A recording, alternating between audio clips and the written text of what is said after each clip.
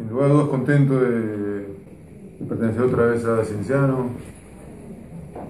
Hace 20 años, eh, cuando empezaba a jugar, eh, digamos, eh, he hecho toda una carrera universitaria y, y no tenía muchas chances para, jugar en el primer equipo, así que decidí eh, ir a Cienciano, que fue el club que me abrió las puertas y empecé una carrera como jugador. Hoy, 20 años después, es una historia parecida, ¿no? Cienciano que, que a nivel profesional me abre, me abre las puertas para, para empezar también una, una, carrera, así que estoy contento con eso. Ahora, el momento no es el mejor. ¿Qué crees que hay que cambiar para que, digamos, el objetivo se cumpla, que seguramente es salvar la categoría? ¿no?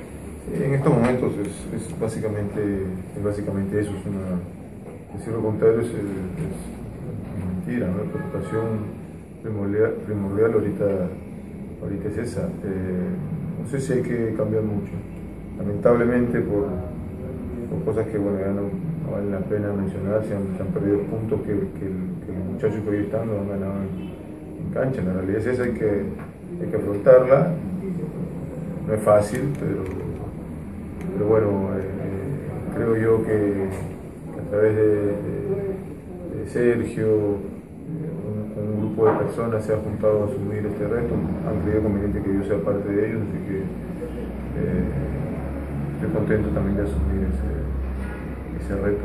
¿Con quién, ¿Con quién llegas a este fútbol? Es tu... Bueno, mira, hace, desde que vengo, hace unos años que, si bien es cierto, bueno, Boys ha sido lo más sonado, pero antes de Boys ha venido dirigiendo menores.